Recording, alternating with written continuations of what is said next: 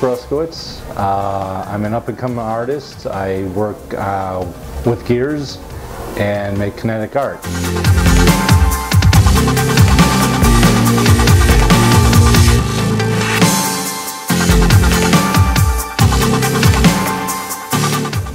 Three years ago, I was in Florida and I saw a piece by David C. Roy uh, entitled Sundance. It was a kinetic sculpture that he made. Uh, I've been in the material handling industry for 28 years. Conveyor systems, packaging equipment, robotics. Uh, I've always loved the way all that stuff moved and this is the first time that I saw something move for no other, for no purpose other than to be beautiful and uh, it drew me to it and uh, months later I had the urge to create something and I'm here today.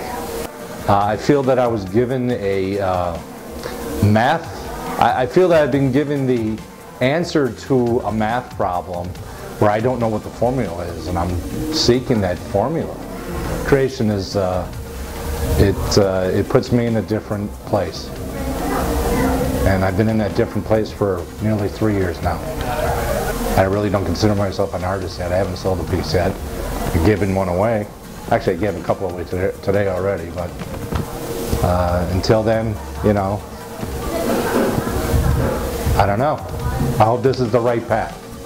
Facebook, Mark Brzeszkiewicz, B-R-Z, E-E, oh wait, B-R-Z-E-S-Z-K-I-E-W-I-C-Z. First name Mark. Just friend me. Uh, I also have uh, Instagram on uh, The Gear Factory, which is uh, the name of the business that I'm going to be creating my work through. My name is Mark Brzeszkiewicz, and I'm a raw artist.